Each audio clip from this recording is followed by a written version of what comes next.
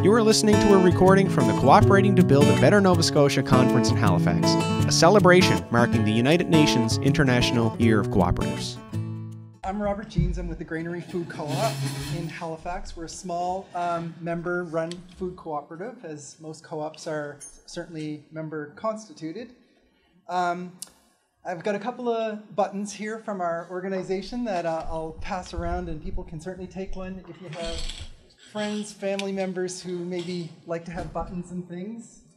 I only have six of them, but uh, so if you don't need one.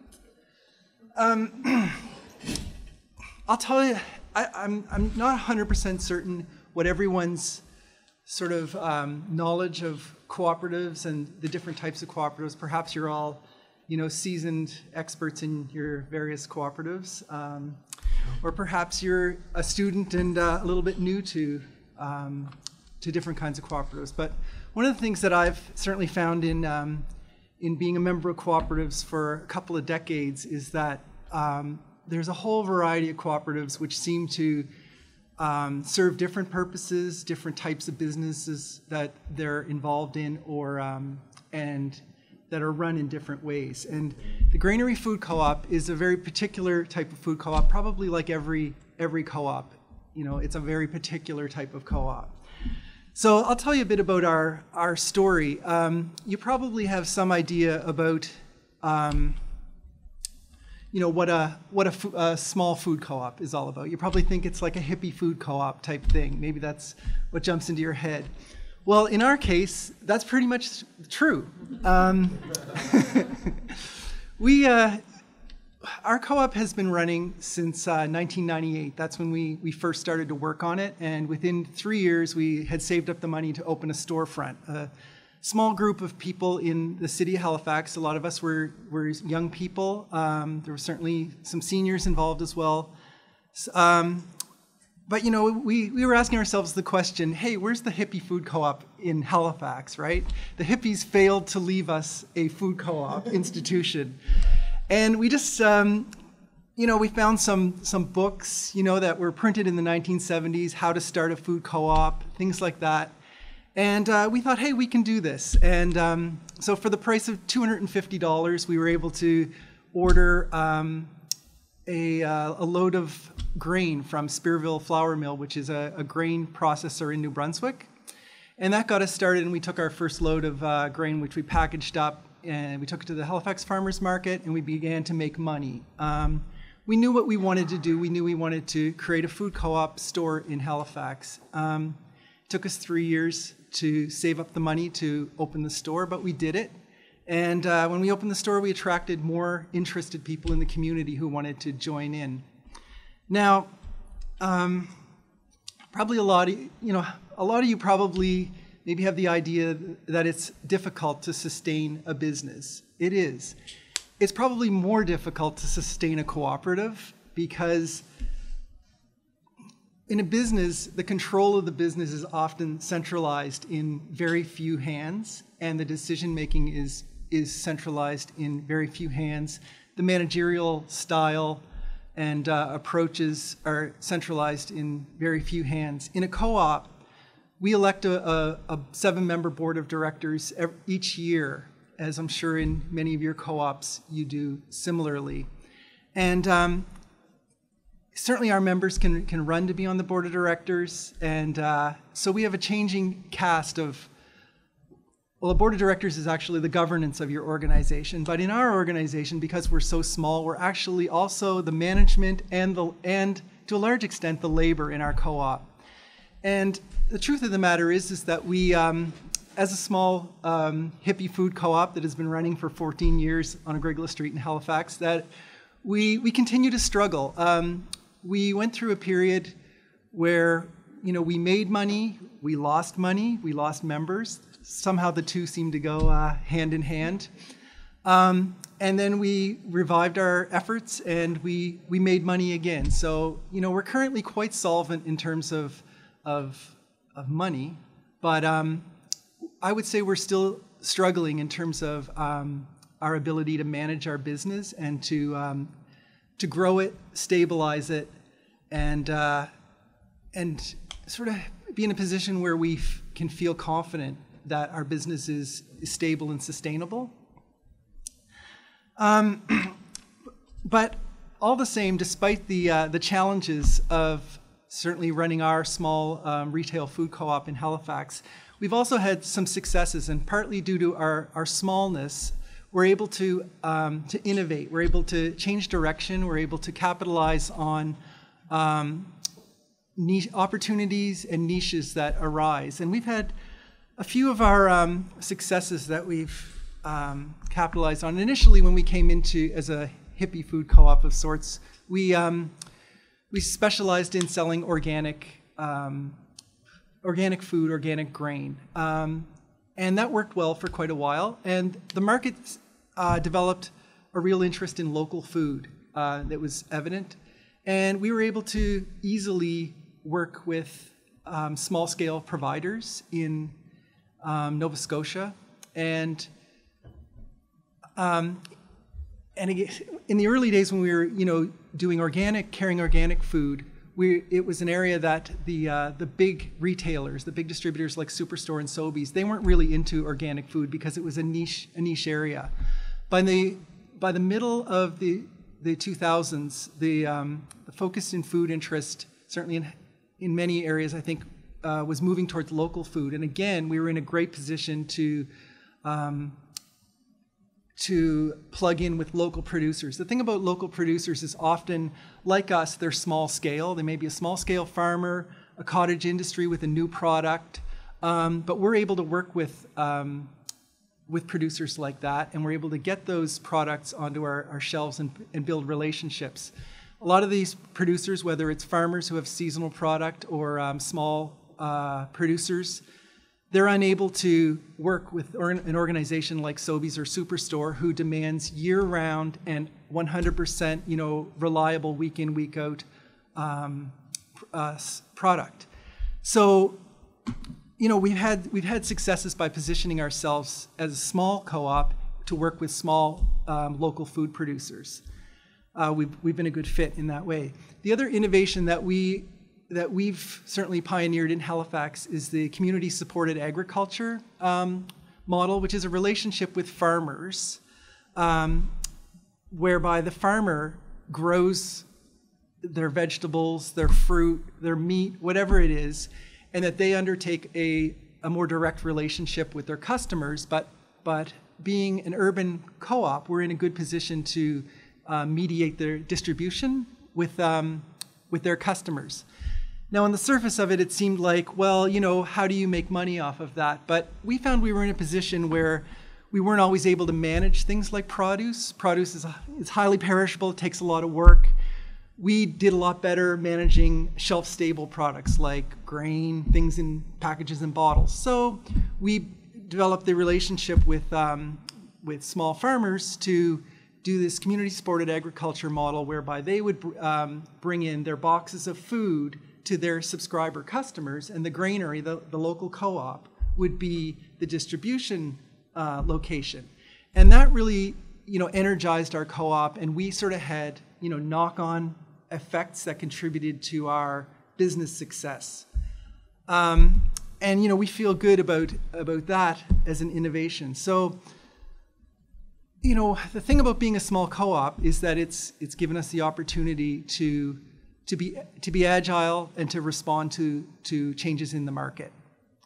Um, the other thing about our our co-op is in that it it has through its 12 years. Um, we have very seldomly actually had paid members. We've occasionally hired people to um, to work on specific projects, but in actual, in terms of running the business, we're fairly unique for this area, and there's only probably there's under 100 co-ops in North America that prob- that run with predominantly with volunteer member labor, and we're one of those kinds of co-ops, and that that's a um, that's a, a large struggle in and of itself. You know, I mean, like any co-op, I think we could all sit at the table and talk about our struggles. We could also talk about our successes, right? They go hand in hand. There's there are two sides of the of the coin. Um, but we've, you know, as a as a co-op that's run predominantly on member contributed labor, um, we've always known that we were a um, a learning lab and an, and an, an incubator for for ideas, for interesting cooperatives, and um, you know, we've felt that we've uh, one of our successes has been in giving new cooperators the oppor- uh, the opportunity to experience what it's like to be in a cooperative, to under, to learn about the sector, and to actually get hands-on in, in the actual running of a cooperative business, whether it's you know through governance the, on the board of directors or carrying out the tasks of running our business. And we think that's been another successful aspect of um, of our cooperative um, of our history or our experience. Um, so, you know, we've we have a business that we break even. We're in the black. Um, we're not certainly um, we're not generating capital returns that would allow us to expand or even hire staff on a permanent basis. So we still have our struggles and we still have our successes, but um, we feel, you know, from the very beginning, through the the founding members, our, with our interest in cooperatives, we wanted to, you know, we'd read the books about the Antigonish movement. We'd read the, um, the books about the hippie food co-ops. We wanted to put the rubber to the road and actually start doing it. And we did start doing it, and we've been doing it for 14 years. And, um, you know, our members, some of them come and some of them go. I, I took a five-year break from the Grainary myself when my daughter came along, but once she uh, became school age, hey, I was right back into it because it's fun, it's social, it's uh, creative, it's entrepreneurial. There's a lot. Um, there's a lot to uh, you know recommend being involved in a, in a co-op, as as I know most of you would know as as fellow cooperators. So um, you know, but our struggle at this time is that to a certain extent we're undercapitalized, and to a certain extent we're undermanaged, and um, you know, but we're we continue to to strive and. Uh, we're open for business five days a week, five hours a day. So um, we're at 2385 Agricola Street. If you're in Halifax, feel free to stop by and, uh, and check it out. And we have a poster downstairs that you might see. And you're at Seaport Market. we are at Seaport Market on Saturdays, yes. Can you just tell me a couple of products, types of products? Yep. Because when you say grain, for me, I used to give grain to my horse, but a grain is from his flowers and yep. which I can uh, bake. So do you sell flowers or do I have to to, to, to use the grain and transform it into flour, which I don't have the equipment. Sorry, I'm saying because you're talking For sure. about grain. So well, sure. the thing is, uh, you know, a lot of it, whether it's, um, you know, our initial, one of our substantial focus is local food, and certainly we carry local flour. Uh, we carry um, local wheat in uh, we're sort of in the health food sector right? Whereby it may be whole grain that needs to be ground. Some people have home grinders. Um, it can be rice it can be lentils um, it can be uh, you know there's bake a bakery supplies us. So it's sort of like a health food store really is what it is. And uh, you know i think it's a bit of a you know an archetype of uh, north american food co-ops you know the uh, the bulk food bin type um, food co-op, and that's pretty much what, what we look like. We also have packaged product as well. We work with JustUs. Um, we carry, you know, JustUs products, mm-hmm. that sort of thing. Um, fair trade sugar. So a lot of people who actually like to cook, we're sort of plugged into the, the foodie movement in Halifax.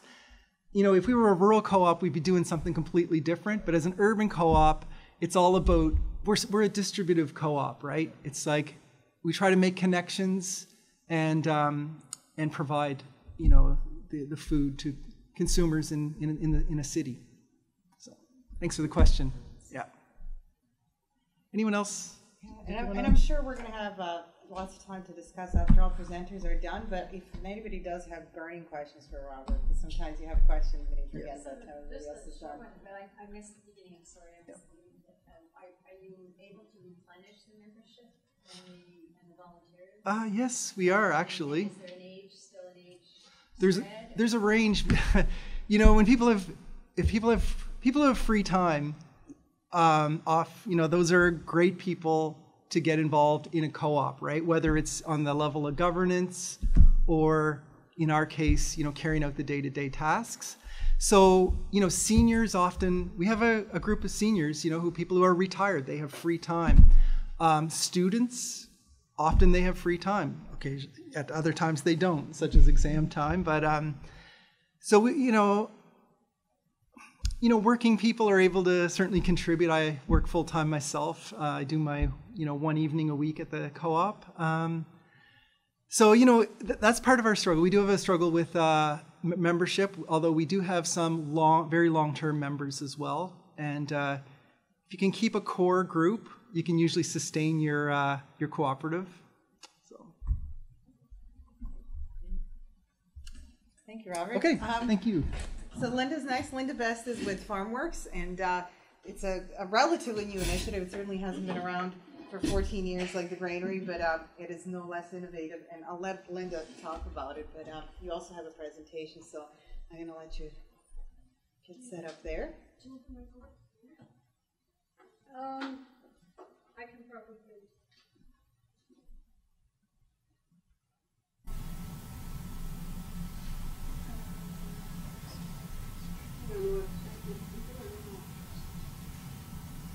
Um,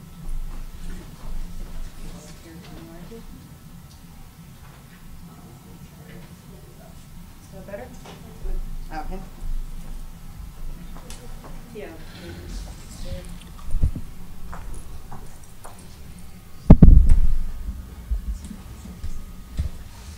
So I have a question for you to think about just as, as you go through this. What's your vision for Nova Scotia? Because that's, um, uh, there's a little bit of sunshine there in Nova Scotia, and, and that's, that's sort of where we started. We have, uh, we live in a wonderful province. We've got all kinds of, of benefits here, not all of them being um, uh, appropriately um,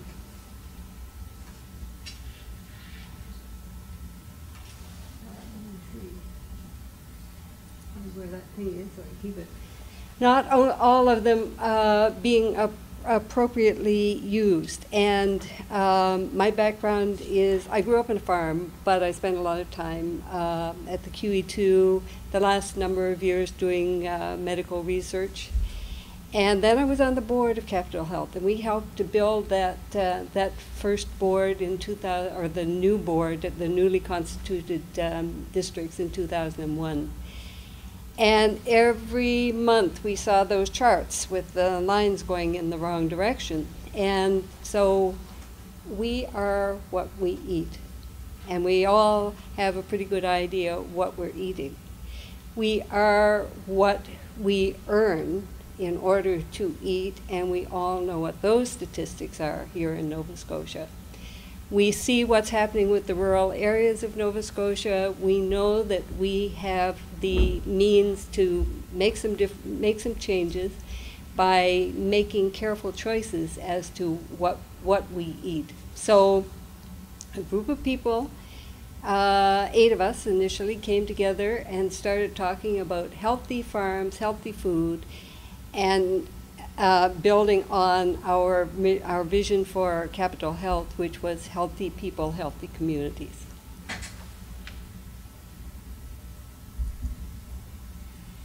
And back in 2009, I helped to put together a, a session at uh, the Old O in uh, Greenwich, bringing the people and the pieces together. That's what we're still doing. And we, we can't look at our future in isolation. We can't look just at the farmers, the food producers, the distributors, the eaters, the investors. We've got to bring all of us together. This has got to be holistic. We've been in, it's so interesting that so many of our uh, terminologies come from farming, such as the silos that we've been in for so long. So let's break down. I even tried to find a cartoon of how of silos falling over, but I didn't. I didn't find one. Money invested in food production in Nova Scotia is an investment in the economy, health, rural areas, communities, culture, and the environment. Because it doesn't matter what you what you look at, food is a key part of it. If you're talking about um, uh, tourism, about the loss of the boat, uh, any of these things that have that impact Nova Scotia, there's a, a huge part of it has to do with food. And for example, right now, um, well, in 2004, there was this wonderful long document about culinary tourism in Nova Scotia. Where is it? You can't, you can't even find it. I have it bookmarked, but you can't even find it online anymore. And all kinds of wonderful stuff. Well, we should be going there. We have basically clean air, clean water, the ability to produce wonderful food, and we have less than 4,000 farmers left. And 70% of them clear under or, or gross under 50,000 a year. So we set ourselves up as a cooperative because we have to do this together. Jen Scott, we're near the tipping point. But we can take steps now to recreate a local, sustainable, healthy food system that gives our farmers the livelihood they deserve and provides reliable, healthy food to our families.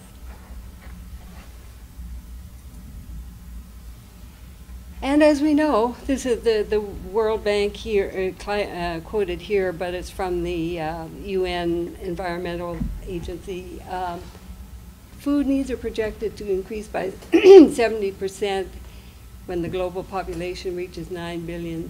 Temperatures, water demand, uh, rainfall, all of those things that, that we are seeing, and, and, and accompanied with um, um, the loss of land, the loss of productivity. So major external challenges. And we, all the climate regions have upward, this is winter trend, but it, um, it applies year round. Mackenzie District, for example, 4.9, and of course you know what impact that has on us. The, the good news, however, is that Laurentian Current, good news only for us, the Laurentian current coming down along the, the, the um, east coast is helping to moderate our temperature so that in fact ours is only increased by 0.5 when, when you look at it relative to other parts. So that's a challenge and an opportunity for us here. Look at what's happened to the rural areas of Nova Scotia. And Cape Breton and, and the North Shore and the Annapolis Valley, all those areas of Nova Scotia, we can be growing food. We can be, uh, whether it's private enterprise or cooperatives, those figures that, uh, that George is giving us, um, there's huge potential for us to do, um, to, to make this into the breadbasket, not only for ourselves, but for, I guess wheat is breadbasket. And then, of course, the, the, the health related. This is from Oregon because it summarized better than any I could find locally of uh, we are what we eat. All of the, um, the according to the CDC, food related chronic diseases account for 60% of healthcare uh, spending in the United States.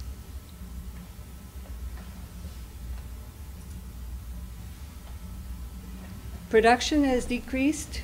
When I was a kid, many long years ago, 60% of our food was, was produced here in Nova Scotia. Now, if you take out uh, dairy, eggs, chicken, you're, we're down to 5, 6, 8%. Red meat, 2%. The rest is imported. Despite XL and Capital today, just the announcement of the listeria um, uh, pork, 1%. Four and five years ago, we lost 60 hog producers in Nova Scotia, and you can imagine what that cost our, our rural economy. Um, milk and eggs and chicken, we're at 50 to, to 90%. And with uh, now with East Coast um, uh, sustainable, East Coast organic, hopefully the, the milk will, will increase even above that crops, apples. We're $13 million worth of apples when, when we're sending about uh, 13, well, about 12 out and bringing back about 30. You know, it's, a, it's ludicrous. It's like the story of the, the apples picked into bins in England, shipped to China, polished, wrapped in paper, and shipped back to England. So, and every time, every, every piece of food that we bring into Nova Scotia that we could be growing here, there's an ele electronic transmission that takes the money out of the out of the provincial economy. So strategies are needed to reverse that trend. Production has been a cornerstone increase in food sufficiency and security, and I didn't bother to put up the chart that showed that we were just at the peak of the Saros cycle, which happened at the time of the Great Saxby Gale, and I didn't bother to show any of the slides that, that you can't easily find on the web from a meeting in March in Moncton that showed that we are uh, about, um, about one storm surge Sandy size away from Nova Scotia being an island. And as, as uh, um, Dr. Ann Clark uh, said the other day, using Jen Scott's um, words, we're at the end of that conveyor belt. If we think we're at the end, uh, Newfoundland is even further down the road. And we have, according to EMO, three days supply of fresh produ product in Nova Scotia and about 14 days of canned and, and uh, packaged. And uh, yes, we see that there's more uh, oil being found and gas and so on and so forth, but still, it's a finite resource and we should not be using it up. We need to leave it to build the infrastructure for green energy and for our kids. As a, as a medical person, I know that if we suddenly took all of the oil out of uh, the healthcare system, we wouldn't have it whether it's antibiotics or artificial hip, hips, we'd be, we'd be in big trouble. And agritourism, yeah, it, we don't we don't tend to think you can't even have a band-aid because it's made with uh, if one of the best renewable resources that we have in Nova Scotia is culinary and agritourism and tourism in general. If I had my druthers everybody who's leaving the province would be required to spend one less day outside the province. Think what that would do for our economy. So the availability of healthy food is becoming crucial in light of global and local issues. So this group of people, uh, the ones at the top were there from the beginning, um, got together to how can we do, what can we do? Something's got to be done. We've, we've talked about it, we've studied it, we know what the issues are, so, we were joined over time, uh, starting with um, Jeff and Thomas Kraus were two of the first people I talked to, Jeff Moore. And all of these other people either were there from the beginning or have come on board to help us. And they, they have a number of different roles. Some of them helped us to put ourselves together in, in with, with governance and, and how we should do this. Some of them help us uh, on an ongoing basis uh, as we figure out. Uh, I just spoke to Jonathan downstairs and said, we've got one particular potential potential client that we're really concerned about. Uh, can you spend some time with us before we go back to talk to him? And others we will call on, such as Susan Carroll. We have somebody we're funding who who is uh, producing food so she went to talk to Susan uh, to get the information. So, other than Deborah and myself, how many of you are familiar with, the, and, and you know, of course, as well, uh, with the CEDIF program? How many of you have shares in any CEDIF? Good. Um, it's an un unexploited resource. We have over, Nova Scotians have over $200 billion invested outside the province that are helping to grow other people's economies. The program's been around for a while. And the good news is that just in last, just last year, um, 7.5 million in 14 uh, current, existing and new CEDIFs. So now we're up to a total of 50 million in 51. But you know what? In the next four years, I want to see that quadrupled. Let's bring that money back and, and, and have it working for us here in Nova Scotia. The government can't do it. The first thing they have to pay out of their 9.3 billion last year was 883 million dollars to pay the interest on the debt, and that's at low interest cost. So if we were paying uh, uh, 1990s interest charges, that would be double. And so you look at, at my field, health, 3.7 billion out of the 9.3 total. And you get down here, and here's agriculture. They had 64 million to put into agriculture, and most of that is for jobs and and pre-existing um, uh, grant structures, agri-invest, and so on and so forth.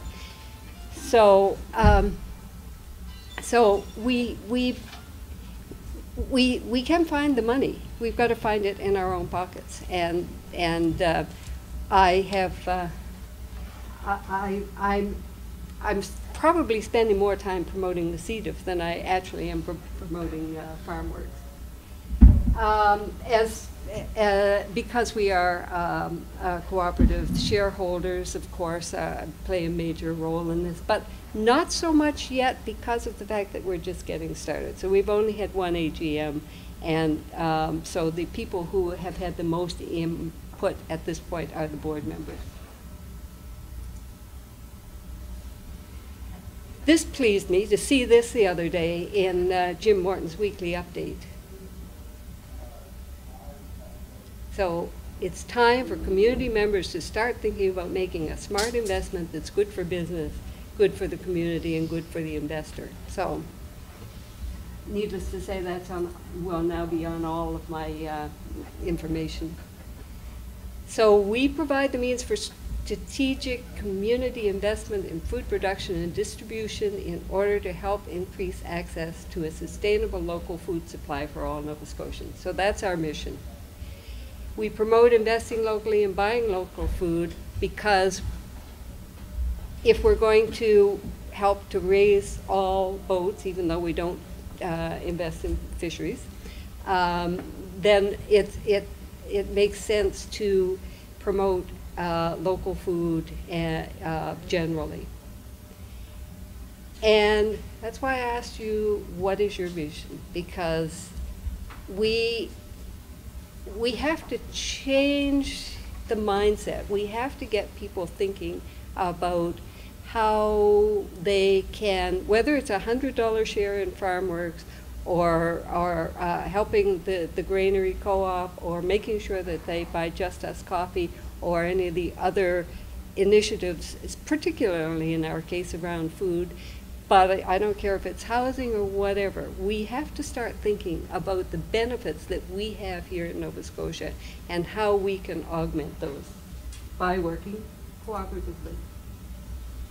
So last fall, we started, uh, uh, we had a couple meetings before Christmas, but in January and February, 22 meetings around, around the province, and, and thanks perhaps in part to climate change, we had great weather and we enjoyed our travel. and so we raised that amount, and we, we'll be starting our second offer shortly. Food grows here. Every time I have the opportunity, I talk about the fact that food grows here continuing to build awareness of the pos positive impacts. For the people that we're investing in, there's a preliminary application, confidentiality, business plan, review, board decision. We give them the money, 6% interest this year. It, it may change next year. We'll, we'll make that decision each year at, uh, on, on an ongoing basis. Um, there's their annual financial statements.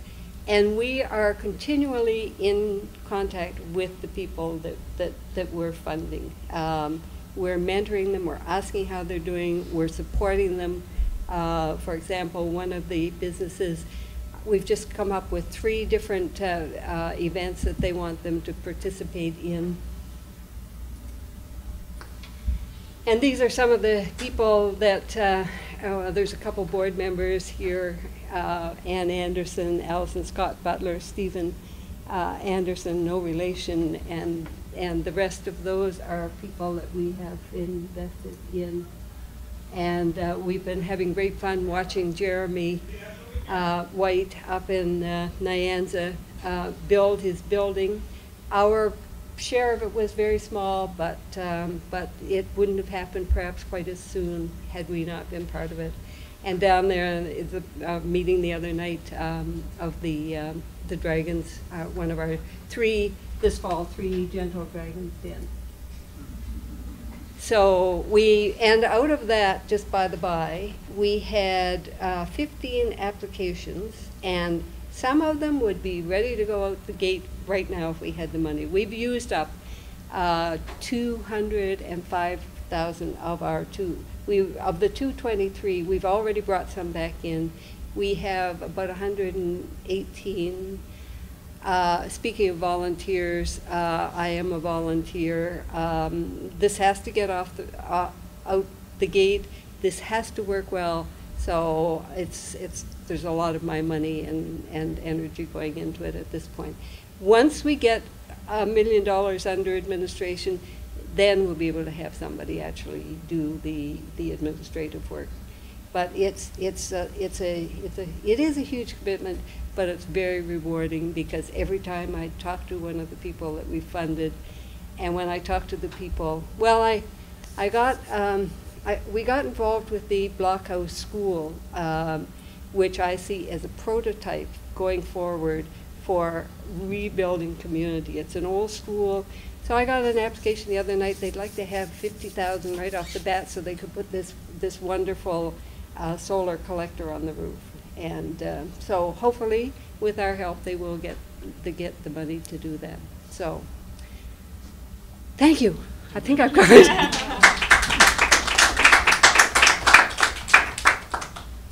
And yes, again, I, I'd like to open up for burning questions. We'll have a bit of Just- time left it's the end. Really just a comment, uh, which I mean to be encouraging. I really hope that the CEDIF in, in Nova Scotia uh, uh, are a success and perform well. And I know they're moving now to- into PEI. We are pushing, we, some people in New Brunswick, for New Brunswick to adopt it. We've in, in, uh, we've invited twice uh, government officials from Nova Scotia to come to speak to our people. Our Minister of Finance is, is a former VP from Irving, uh, which tells you how completely frickin' ignorant he is about anything uh, having to do with that. And uh, the answer is that they gave us is that they think this is risky, uh, and that they're not sure that they want to give any more tax credit. Like they give already tax credit to everybody and the sisters, but uh, not not through CEDIF. Uh, and uh, I think the only way that they're going to change is if they see year after year that you are successful with these CEDIFs here, uh, because that's the only, you know, ration, you know, rationality doesn't seem to work on them. Forget about it.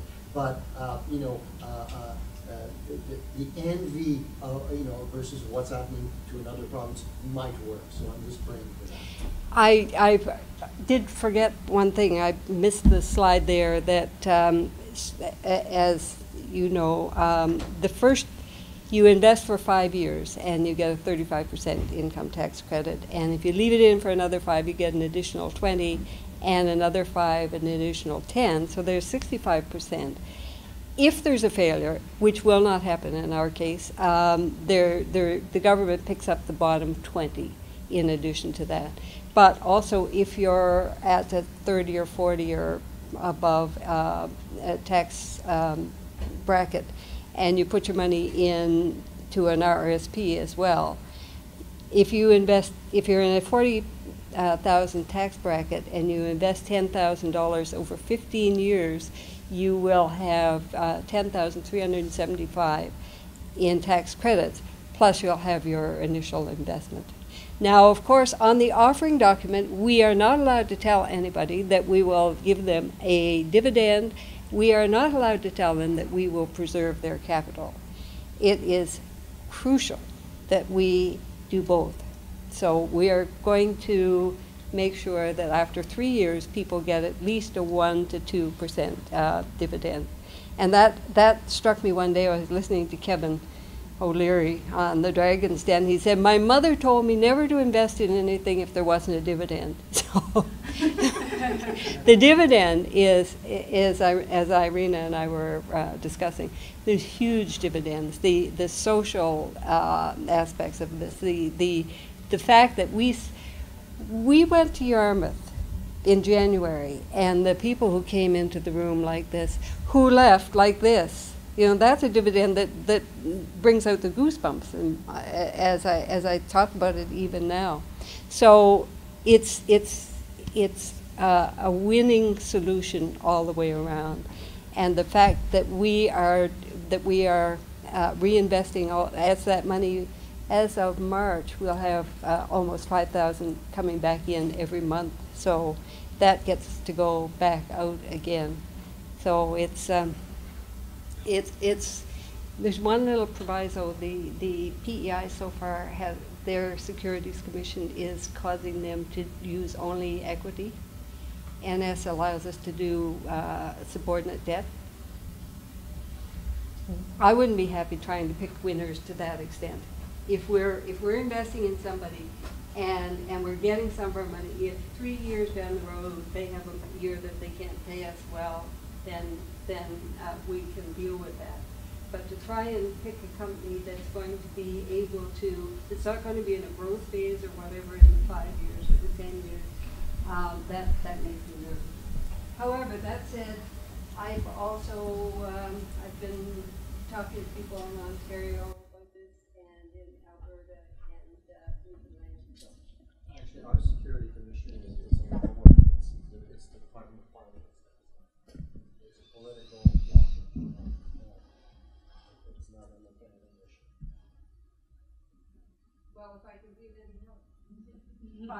by, by making sure we are. We have one more person joining us today, uh, Jeff Morris here from JustUs Coffee, and uh, Melissa Stewart is in your schedule, but Melissa couldn't join us, so Deb, uh, you're actually free to come and fill in. Uh, as you are one of the founding members, I'm sure you're going to do a great job filling in.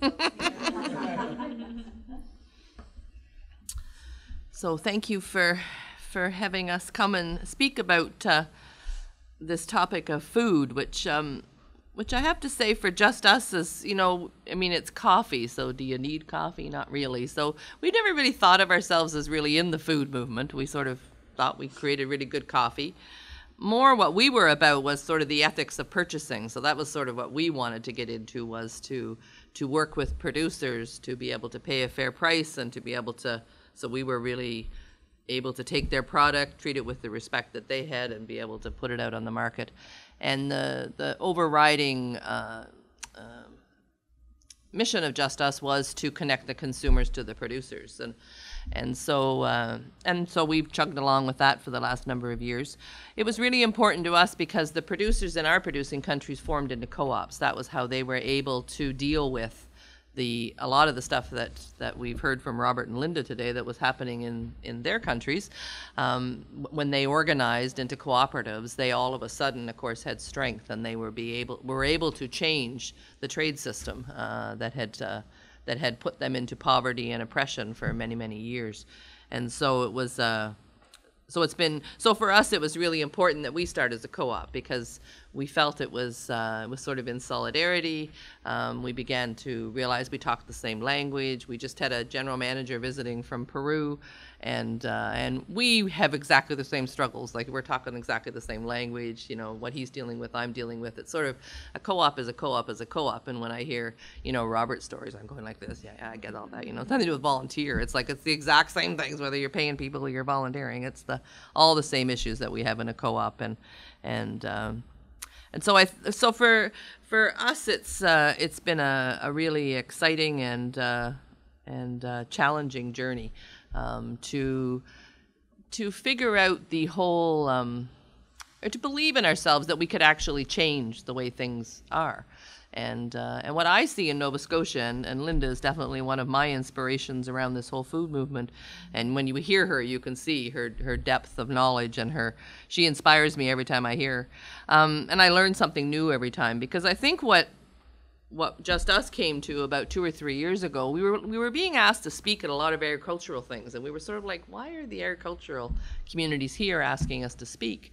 And as we begun to educate ourselves, we've begun to see that many of the same issues that were being faced with our producers are being faced here in Nova Scotia, and and they're looking for a different trade model, a different way of of uh, of being able to get their products to market and to be able to uh, be able to be paid a fair price, and um, and so most recently um, in our last strategic plan, we decided that we would we would make fair trade part of this, but that fair trade wasn't going to be our narrow focus, but that we were going to put ourselves fully in the food movement and and begin to realize that we maybe we didn't have any answers, but we had sort of figured out a model of business that, that works and that we have and we've learned a lot about governance, about how to run co-ops, not to pretend we don't have a thousand other that creates more problems, but we we have figured out something that uh, that has allowed our co-op to uh, to be able to be a successful business and yet to have a social mission. And so I think that's the the challenge for for us as we go forward is is that we're not following that typical uh, capitalist model of being profit driven. And so, you know, we use the tagline "People on the planet before profits." And so we we we believe that that all three, and there's pro- there's more components even than that, but the basics of those three need to all be addressed at the same time. And somehow we've proven that we can we can do that and we can have investors and pay them dividends and we can pay the staff a decent salary and we can pay the producers uh, a fair um, compensation for the work that they're doing and uh, and we can get fantastic products. You know i think that's what the most important thing for us as consumers.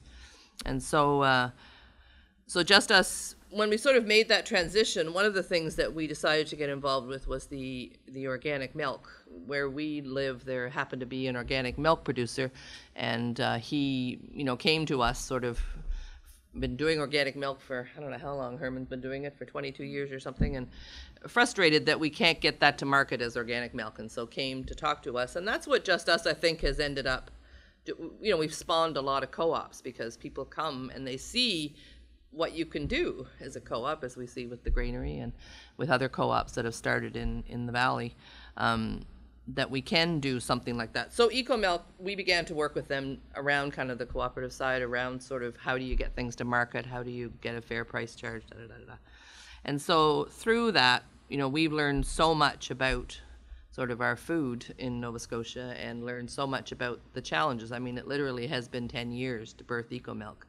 And I think I don't know how many years of that, many years of that was fighting with the dairy boards. I mean, it was, you know, and fighting with transportation and fighting with, with just a system that doesn't support, you know, the type of agriculture that many of us would like to see. And, and uh, anyway, you know, we have birthed it, but is it is it secure? No. Is it, uh, you know, it's it's priced quite high on the market. Everybody's sort of saying, eh, you know, it's really expensive. It's like, you know, and I mean, I said to somebody the other day, and who do you think's getting rich? I mean, it's like, you know, this is the cost, you know, the way, because we're fighting against a system that doesn't support this kind of agriculture. So we're trying to do it in the real, in the, the typical system.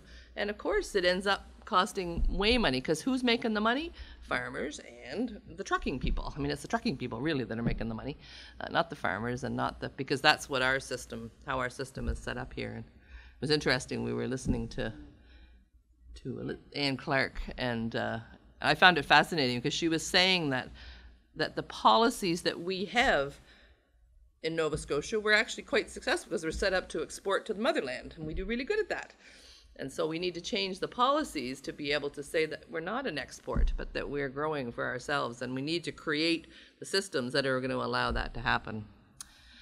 The other thing I think that uh, that that JustUs has is working on or just broke ground on is that we're we're building a center for small farms, and so we're also so we're sort of trying to take kind of what we've done or been somewhat successful at and create kind of that incubation or that place where we can just using the cooperative model to just get people in the room. You know, let's start talking. Let's start dreaming. Let's start, you know, as, as Linda said, what do you want for Atlantic Canada? Because you know what? It's completely in your control. There is nobody out there doing anything to you.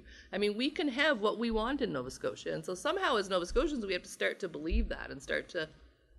So that's what we're hoping to be able to do at this center is to be able to start those dialogues and begin to empower people to say that in fact, you know, and, and the the method that fair trade used was this boycott. So it was about where do I spend my money, and and we know that the capitalist system listens to that. So, you know, we came into the world with fair trade coffee. I mean, we were considered the hippies. We were like, you know, it was you know, we, nobody knew how to brew the coffee. It was all weird. It was like, you know, and it was like, but I mean now. You know, I don't know a coffee company that isn't doing fair trade. I mean, it's just like because as consumers, we bought the story. We we wanted to to do that. Uh, I just got this thing from David Suzuki, not David Suzuki, but it's a foundation, and, and saying 81% of people are willing, want the environment to change and are willing, don't, are willing to compromise the, the growth of the economy to do that. Like, it's like, so it's like that many people want this. So it's like, who's doing it to us? So we have to figure out kind of what are the blocks?